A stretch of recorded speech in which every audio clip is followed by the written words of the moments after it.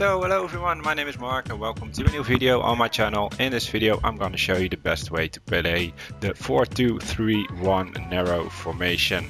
Uh, as an example I'm taking here Manchester City, the team Manchester City. Uh, I think this is one of the best teams uh, to play this formation with, so that's why I'm going to show you this.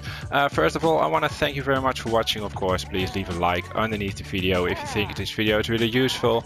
If you have to say something about it, drop it in the comment sections below and uh, if you are new to my channel make sure you will subscribe to it. So I'm gonna show you the formation the lineup the tactics and instructions. And after all of that I'm gonna show you some gameplay against a real opponent who is playing with Liverpool. So um, first of all the formation here 4-2-3-1 narrow of course as I said before. Uh, Ederson is the goalkeeper. Walker Otamendi Laporte and Mendy are the defenders two central defensive midfielders, Fernandinho and De Bruyne.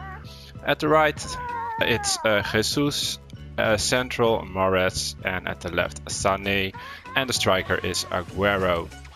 Then we have the tactics. I choose defensive style balanced, width of 4 bars, depth of 4 bars. Then offensive style also balanced, width of 8 bars, players in the box 6 bars, corners and free kicks just 3 bars. Then we have the instructions, uh, all defenders just aggressive interceptions and the two fullbacks stay back while attacking. Fernandinho stay back while attacking and cover center.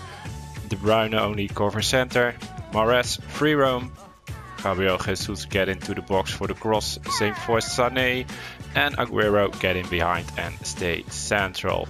So that's it for all uh, instructions and tactics and stuff. Uh, after this there's some gameplay. I hope you enjoyed it.